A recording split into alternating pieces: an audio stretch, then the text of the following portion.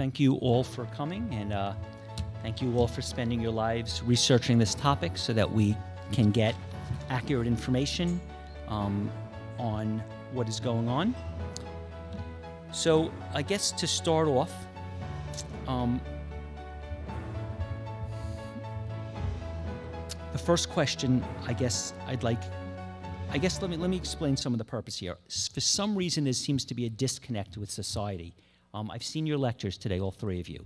Um, they were great, but they were tough to listen to because you basically painted a picture that the direction we're going, if we don't make changes, there are going to be consequences that people are not going to like. Um, so part of our goal is to somehow uh, at least get everyone to be aware of what you're saying so that the best of human capabilities can be focused on this. So I'm going to ask you a lot of questions and ask you to tell us research, but the question is I'm not the first person that's asked these questions. There's been articles written, there's been books written, you've written these books, smart people have heard this. If you're talking about such important and such urgent and such critical things, what's happened when you've told people. In other words, you're well respected, you know, credentialed people. When you've told the president, the governor, the senator, the head of the of wherever, what's happened? I mean, how come this isn't on the front page of the newspaper every day? Why isn't this on the you know the headline news every day? Why isn't everyone responding? I mean, you know, this information is clear. These books are very clear. They're not confusing. Why hasn't the top people heard what you said and gone on TV and said, We have a crisis and we're going to deal with it. What, what's preventing this information from being acted on by the highest levels of, of our society? Anyone who would like to respond? Well, that's scientists aren't always the best communicators, and there are a lot of scientists out there who can't talk to the general public in terms that the general public understands. They're talking up here with highly technical terms, multisyllabic words, and they don't always make personal contact with people.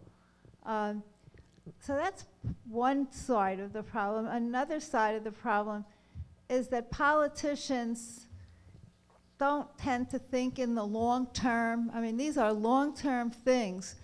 Politician thinks in terms of two years or four years uh, because there's a reelection, you know, there's another campaign, another, another election. And um, this long term stuff, they don't all see that this is so necessary to tackle. And it's easier to tackle other things. That's just a start. I could keep going, but I'll let my colleagues have something to say.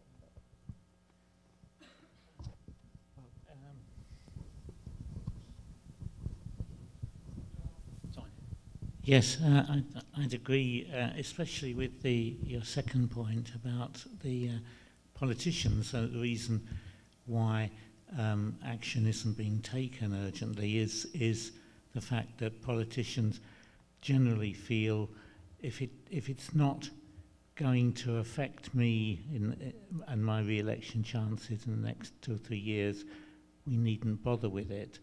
And um, it's, it's a very depressing approach that they have, but you can see why when they're, they're confronted with a, a mass of immediate problems, uh, that that they would rather kick the can down the road when it comes to something that isn't going to immediately cause a catastrophe.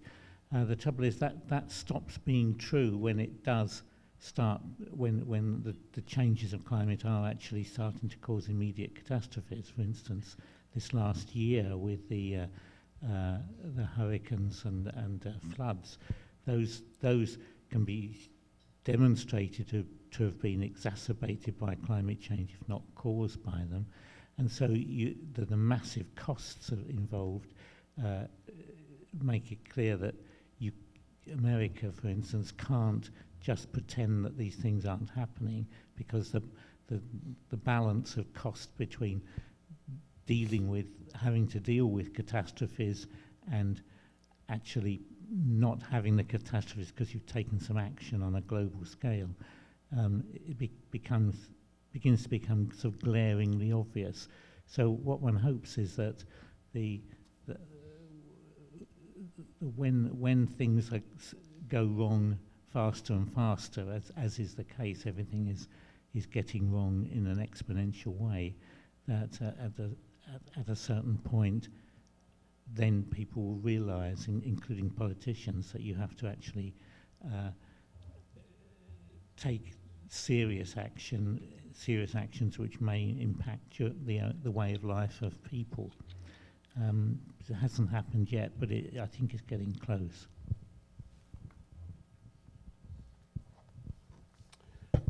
Well, um, we're dealing with a lot of uh, um, dynamics in the situation you describe, and one of the most important ones is the institutional inertia that we have out there. Uh, uh, we are a society composed of many, many, many powerful institutions that are, you know, they're, they're organized around missions, around money, um, around all kinds of uh, rallying points for them. And uh, many of these institutions have gatekeepers who um, are dedicated to keeping messengers out of the arena if they are bearing messages that are disturbing. Uh, by the way, we see this most clearly these days on campus. And um, where the, the idea of uh, inclusion uh, now means uh, shutting down conversations and debate. So how we got to that insane point in our culture is a kind of an interesting dynamic. Uh, there's also something like the Pareto principle. There's actually a law named after uh, another guy whose name I forget, but it, it's sort of like the Pareto principle of, of 80% and the 20% in, in any institution or corporation or business. 80% of the people uh, are basically devoted to the survival of the institution at all costs, and only 20% are devoted to actually carrying out the mission uh, and doing the work of the institution. So institutions themselves are powerfully motivated to maintain a status quo. Um, and um, uh, one of the things that we tend to forget in our wishfulness about the world and our, our constant uh, effort to build new utopias is that reality has mandates of its own.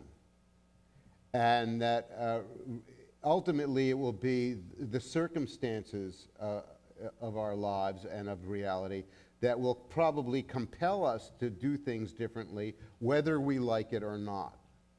You know, a lot of our, uh, a lot, there's a lot of thinking out there these days that th- the world revolves around our preferences and likes and dislikes. And in fact, there, there are a lot of things about the universe uh, that are not concerned with our preferences and dislikes. It has its own agenda. And, uh, and our societies, of, you know, organized human societies composed of individuals, have to adapt to the uh, circumstances that reality is presenting to us at a given time, or not. And also, one, one final thing something that's been removed from the liberal education that uh, used to be at the center of it was the idea that life is tragic. And uh, by that, I don't mean that everything comes out badly or sadly, but the idea that uh, there are consequences to the choices that we make. And, um, and uh, we, we better make good choices. And, and often we don't. And when we don't make good choices, there are consequences. I, I actually have a new theory of history, which is things happen because they seem like a good idea at the time. So I could simplify this. I've been thinking about this for a long time, and I think when it comes to climate change and ocean acidification and biodiversity loss and deforestation and extinction of animals and all these different things, the real question that people say in their minds is no matter what it is you say, they say to themselves, when will this actually affect me? And as long as people say, by 2100, you've already lost them. They're like, 2100, I'm good. If no matter what happens, if it's happening in 2100, they're good. So most people believe, no matter what you say when you talk about climate change, that you're talking about something that is still 50 plus years away. Now, we had a speaker named Guy McPherson who came, and he was, he was simply terrifying. He was saying that um, human beings are not being accurate, and we're about to have an acceleration in climate change, which is going to affect everything and food and everything. And he was saying that we are now in an abrupt climate change, aggressive climate change. So the real reason that people are not that interested in this subject is they think you're talking about a subject that will affect us in the year, affect them in a meaningful way in 2100. So the, the question that, the horrible question that I have to ask is, okay, so with ocean acidification and overfishing and species extinction and the warming and everything, when does it affect humans? When do we go to the grocery? Is there not enough food? When is the storms so consistently like Puerto Rico? When are the, the tropical malaria coming to here? When do we get to the point that our society is significantly interfered with? Because if you say it's 100 years away, 50 years away, you know, a lot of people are going to be relieved. How much time do we have before all these things create significant interference in our ability to feed ourselves and have a normal society? And it's a horrible question, but that's the, that's the real thing that people don't want to know but want to know. I should think that Hurricane Sandy and Harvey and Irma and Maria and a bunch of other and Katrina should have hit a lot of people where they live.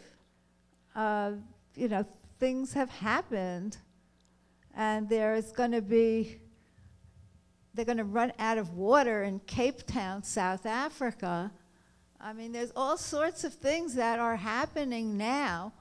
Uh, perhaps it didn't happen in your town or your state, but certainly there have been many major major things that have happened and are going to continue to happen in an even uh, more severe way. Uh, you know, if we have to appeal to people only by what's personally going to happen to you, unless people have some thoughts about their kids or grandkids that they're concerned about their future or concerned about the rest of the life on the planet, um, I, I find it very frustrating if I have to tell each individual person, you know, something bad will happen to you, because that may not at all be the case. Um, yes, a couple of points on on, uh, on what you just said. That one uh, is the speed at which things are happening in climate change is in itself increasing. Most of the changes now are exponential. The, the growth of carbon dioxide in the atmosphere um, and the, the, the rate of rise of sea level, for instance, global sea levels, these are increasing exponentially, not, not linearly. And the, the thing about an exponential, is that some, somebody said, is that if you're standing on an exponential curve and you look behind you, it's all flat and, and, and doesn't look as if much is happening. So therefore, you needn't worry very much because nothing much has happened so far. Um, and but when you look ahead, you're going up a vertical cliff, um, and most people prefer to look at what's happened so far, and they sort of think, well, nothing much has happened, we're okay, um, and that's that's the sort of dis, dis, that's the uh, uh, the problem with an exponential change is that you don't realize it's happening until it's too late. Um, and then the inverse of that was a, a, a quite a, astonishing statement that came from a British government minister when, when the last uh, assessment of the Intergovernmental Panel on Climate Change came out. Um, he said, well, I've seen this report, and, and it's only it's only forecasting a sort of two and a half degrees of warming, and half of that's already happened. And in other words, what he thought was that because the IPCC projections only go out to the year 2000, uh, sorry, 2100, that therefore climate change would stop in 2100. So if half of the what climate change is ever going to happen has already happened, uh, and therefore we don't have to worry because when we get to 2100, uh, climate change will stop. So that, that was this astonishing British government minister now no longer in office. But uh, it illustrates the way politicians think. Okay. Um, one of the dynamics that we're dealing with uh, is the fact that uh, uh, systems theory really applies to many of the, the forces that are now in motion around us. And, and you know, what systems theory will tell us is that systems tend to keep on doing what they do until they reach a point of criticality, and then they go through what's called phase change, where you know they move from one state to another, often a state of apparent stability to wild instability. Um, this is obvious in nature, but it's probably also uh, you know going to prove to be obvious in, in in human social dynamics and the way that we're responding to these things. Uh, and you know, the the short answer to that is that we probably won't be moved to do much of anything until we're compelled to. And then it will all be a very impromptu process. You know, the, the there are two forms of extreme psychological uh, narcissism that I observe around me today. One of them is what I call techno narcissism. You know, the idea that uh, we're going to come up with technological rescue remedies that will uh, make everything all right. And the other type is organizational narcissism, where we think we're going to organize our way through this set of predicaments. And I'm more inclined to think that uh, society, being the emergent phenomenon that they are, phenomena that they are, suggests that um, you know they are self-organizing and they they will respond to the circumstances that the time and place presents and sometimes it's a very disorderly reaction. So disorder is one of the options here. Uh, uh, for us, one of the questions really is, you know, that we ought to put to the, to the people, to the nation is, well, how much disorder do you want?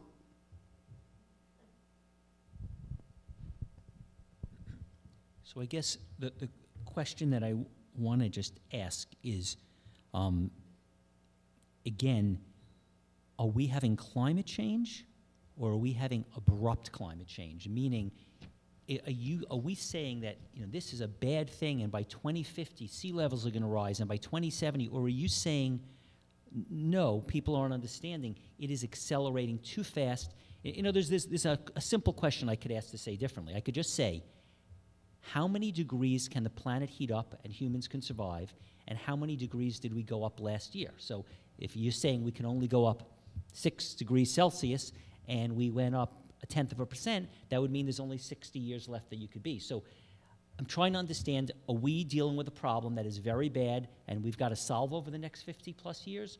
Or are we dealing with a problem that's very bad that literally um, could prevent us from continuing as a species in the next 15 years? I'm trying to understand the, how advanced this is, and I don't want to overreact and I don't want to be scary. On the other hand, I don't want to be um, falsely optimistic that this is a problem for uh, my children.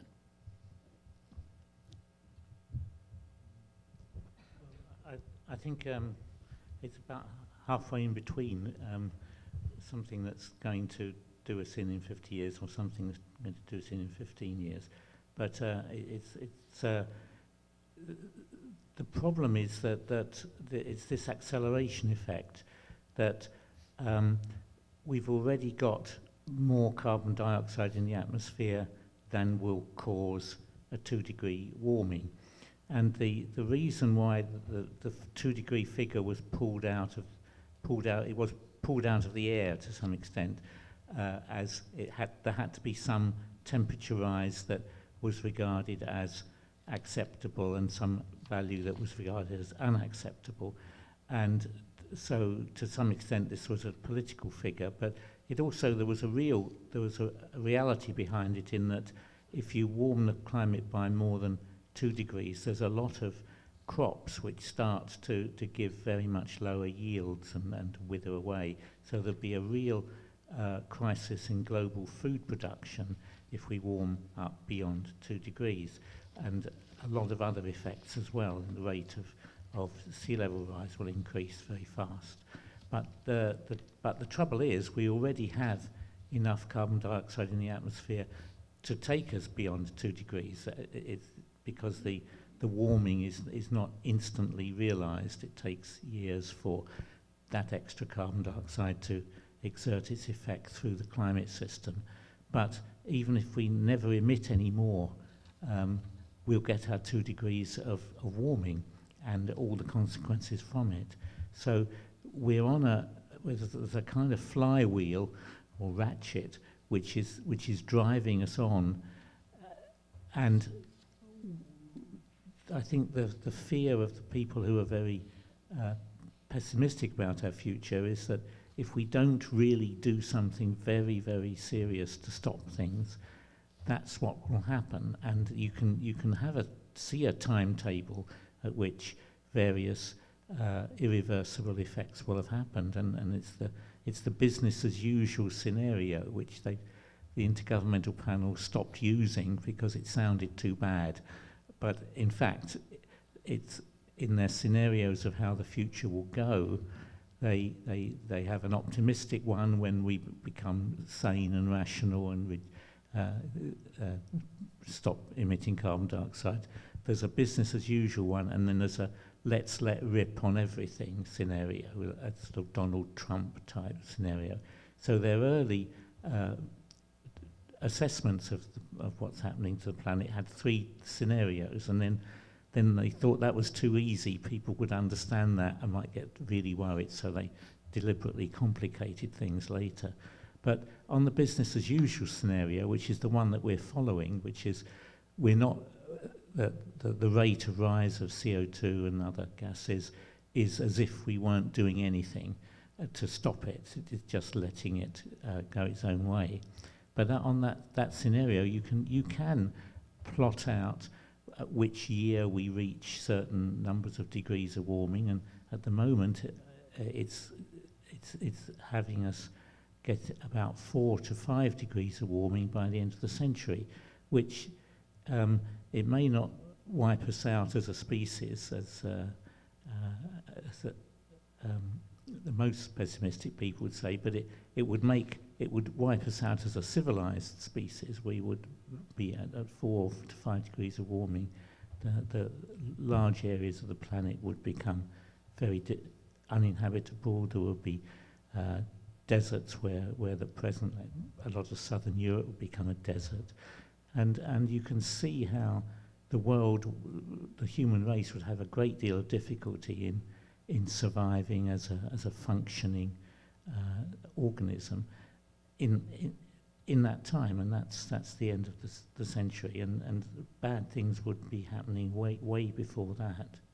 So probably we are talking about say, 20 years before we have such serious consequences that we really notice, and because we're really noticing this, this year from various disasters.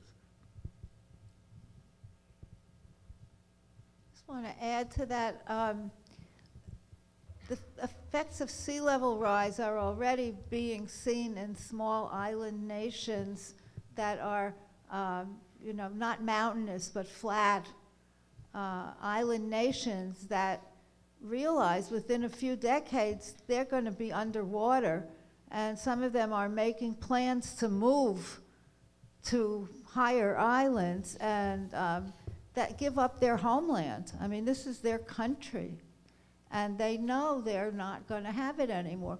So we are going to have not only those people, but people fleeing from places that will have gotten too hot to grow crops. We're going to have climate refugees. I mean, we have enough issues about refugees now. Uh, there are some people that argue that a lot of the Syrian issues were because of climate problems. That's, you know, some people think that's true and some people don't. But there will be undoubtedly huge numbers of climate refugees within the next few decades. And, and what that will do with international politics or wars or whatever, who knows? There's a, uh, a third intellectual conceit that I forgot to mention, uh, along with the techno narcissism and organizational narcissism.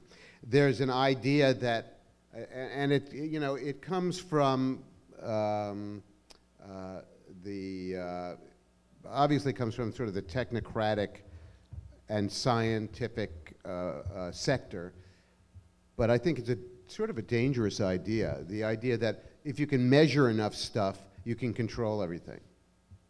And we're finding out now that, uh, yeah, we can measure a lot of things, you know, and, and then we're disappointed that we, that we can't control it or that we can't rouse up enough of a political, of a potent enough political mechanism to change our behavior.